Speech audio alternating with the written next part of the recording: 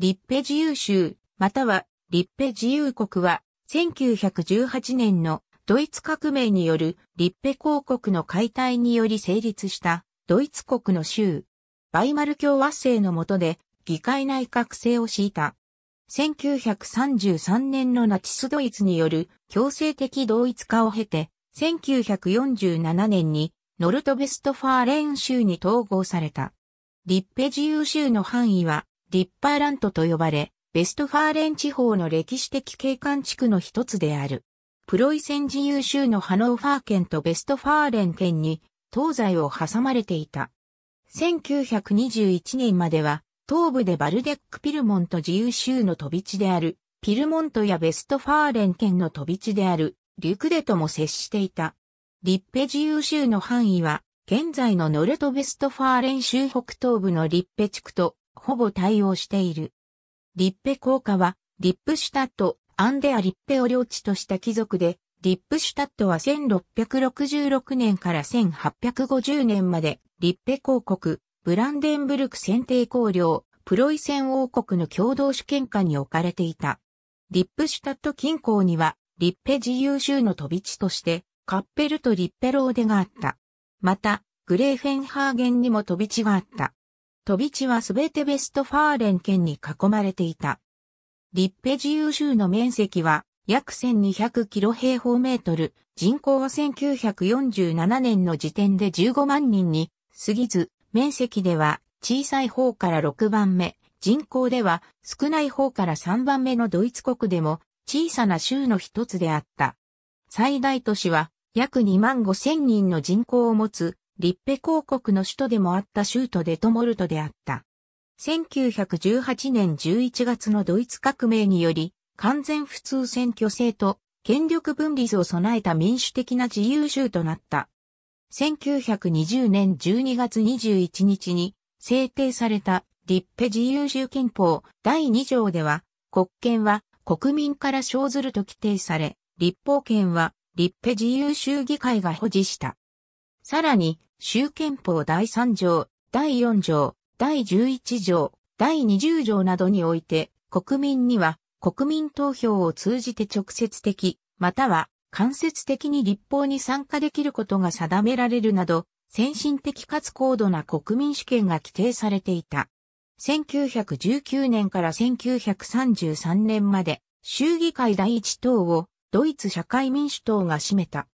行政権は州議会が選出する3人の地域評議会にあり、1918年から1920年までは、社会民主党のクレメンス・ベッカー、1920年から1933年までは、同じく社会民主党のハインリヒ・ドラーケが指導的立場にあった。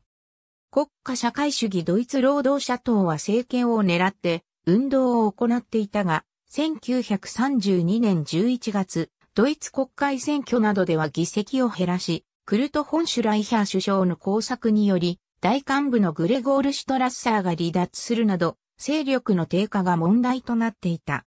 このような状況下で1933年1月5日、リッペ自由州議会選挙が行われることとなり、ヨーゼフ・ゲッペルスは、この選挙をナチ党勢力のアピールに用いようとした。ナチ党はリッペ自治州内の古い遺跡であるエクステルンシュタイネやヘルマン記念像などを政治的な目的でゲルマン民族の中心地として専用していた。ナチ党幹部を集めてエクステルンシュタイネで開かれた大規模なパレードでは、それまで一度も言及されたことのないドイツ全土の意味で立ペの名が語られるほどだった。こうして注目を集めた立ペ自由州ではナチ党支持が高まり、絶対多数には届かないながら、約40%の得票を集め、社会民主党を破って、州議会の第一党となった。この選挙は、リッペ自由州で行われた最後の選挙となった。その後、ナチ党は、クルト・ホンシュライヒャー首相への政治的圧力を強め、ついに1933年1月28日に辞任に追い込んだ。1933年1月30日には、ヒトラー内閣が成立し、リッペ自由州では2月7日に、ナチ党のエルンスとクラッペが地域評議会入りして、ドラーケの放逐を働きかけた。1933年5月には、リッペ自由州とシャウムブルクリッペを所管する国家代理官として、アルフレート・マイヤーがデトモルトに着任し、ここにリッペ自由州の強制的同一化が完成した。1933年3月31日のラントトライヒの等し成果に関する暫定法及び1933年4月7日のラントトライヒの等し成果に関する大日報に基づく強制的同一化により、立ペ自由州の政府、議会は一切の自由を奪われ、州憲法も停止された。1919年、連邦参議院の後継となる来ヒ参議院が招集され、立ペ自由州も参加した。立ペ自由州の来ヒ参議院議員は州憲法第29条により地域評議会が任命した。旧立ペ自由州議会議事堂。現在はデトモルト地方裁判所となっている。1920年12月21日に制定された立ペ自由州憲法は完全普通選挙制と権力分立を確立し、国権は国民から生ずると規定するなど先進的な内容であった。しかし、強制的同一化の過程で効力を停止され、戦後にも一切顧みられることはなかった。1946年にイギリス軍政府が議員を任命して再開された州議会ではノルトベストファーレン州に合流することを決めて解散した。州議会は州憲法第25条に基づき3名からなる地域評議会を選出した。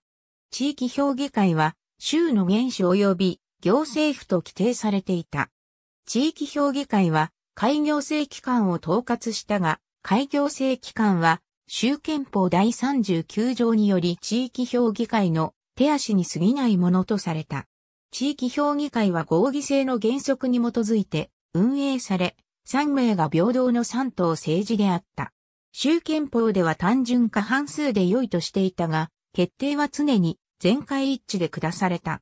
地域評議会の議長は、同配中の主席として、非公式には、州首相に匹敵する地位であったが、特に役職として設けられてはいなかった。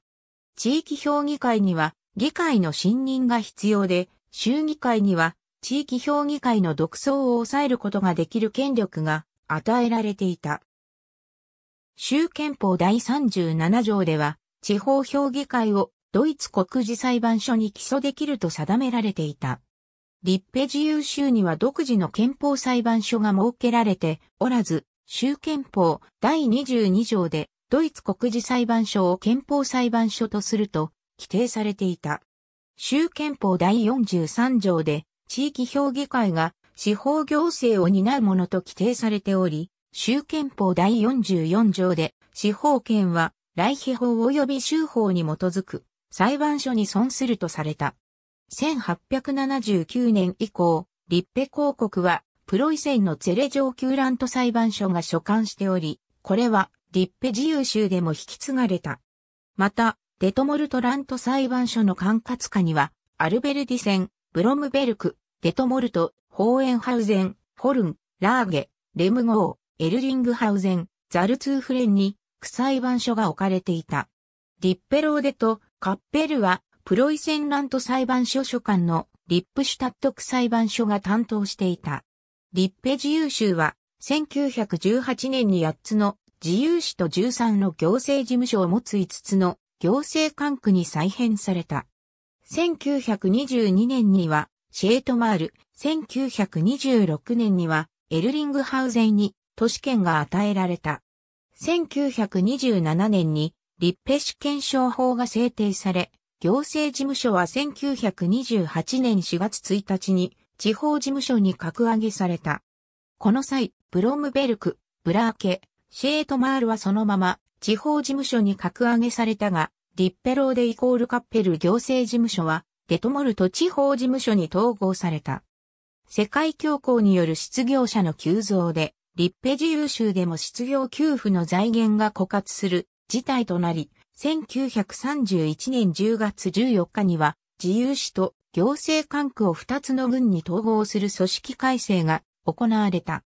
これにより、1932年4月1日には、デトモルト、ホルン、ラーゲ、シュバーレンベルクの各自由市とブロムベルク行政管区及びデトモルト行政管区がデトモルト郡となり、バルントルプ、エアディングハウゼン、シェートマールの各自由市とブラーケ行政管区及びシェートマール行政管区はレムゴー郡となった。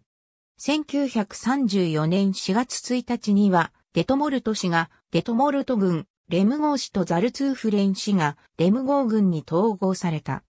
1939年にはデトモルト郡は面積634平方キロメートルで人口95,687人、レムゴ郡は面積581平方キロメートルで人口91,533人であった。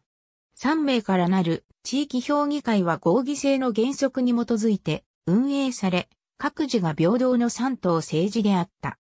すべての法律は地域評議会の3名が起草したが、地域評議会議長は同輩の中の主席として、非公式には州首相と同義とされ、実質的に立ペ自由州の元首として振る舞った。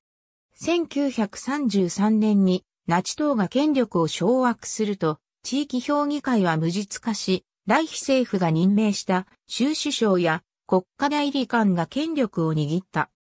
デアフライストットリプイムバーブリック、ハットメイヤーズコンバーセシャンスレクシカン、バーラフでビブリアグラフィスケンインスティトゥーツ、ライプツヒ、ウィーン、4、ウフル、1885-1892、アーカイブベシュタンドクレイスバーウォルンデッドモルド。アーカイブイン NRW、2009年8月16日、閲覧。アーカイブベシュタンドクレイスバーウォルンラモゴ。アーカイブイン NRW、2009年8月16日、閲覧。スタタスティシャスジャブクフィアダズドイチェライヒ1941。ディジェザッチライファン2009年8月16日閲覧。ありがとうございます。